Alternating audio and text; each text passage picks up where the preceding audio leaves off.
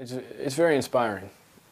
It's, it's a beautiful thing, music, because you're communicating something in a way that words can't, you know? You, you play a piece of music, you listen to a piece of music, and it, it makes you feel a way you can't really put into words, you know? And you feel it in your bones, in your heart, and your soul.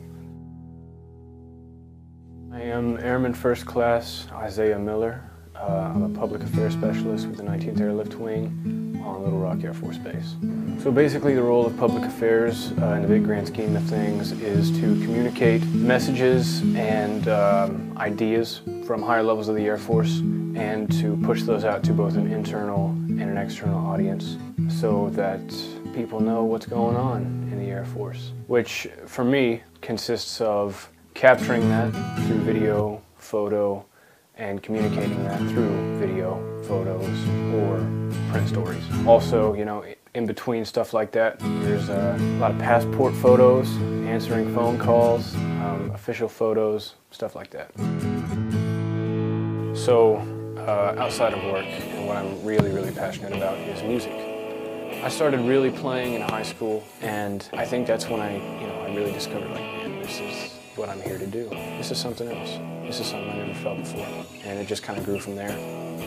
I think that music kind of ties into work, you know, because at work it's my job to communicate messages from higher up in the Air Force and communicate that. And I think that kind of carries over into music because, at least in my mind, music is a way of communicating things that can't be expressed in words. Emotions, ideas, feelings, just aspects of being that words really can't do justice. So just as I communicate a higher message in the Air Force, that's kind of like a microcosmic reflection, I guess, of what I strive to do with my music, which is to communicate things from, I guess, deeper levels of human consciousness.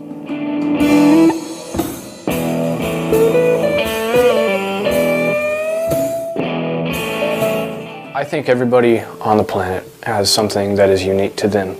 You know, I'm, I'm, not saying I'm the only guy who plays music. I know that there are millions, but I'm saying that there's something that is unique to you that nobody else does. You know, somebody else may play the guitar. Nobody plays the guitar like you. So find what it is that calls to you, pursue it, because I think that that is a really big clue your hobbies and passions as to kind of what your purpose is in life, what you're here to do, and the path you're meant to walk throughout the rest of your life. Thank you.